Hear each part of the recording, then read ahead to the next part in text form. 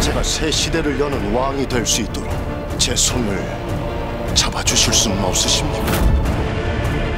곧 아시게 되겠죠. 용상이 어떤 것인지. 그 자리를 달라고 것입니까? 전하의 오심은 위태로운 곳을 향하고 있는 듯합니다. 이제 순결에 그만이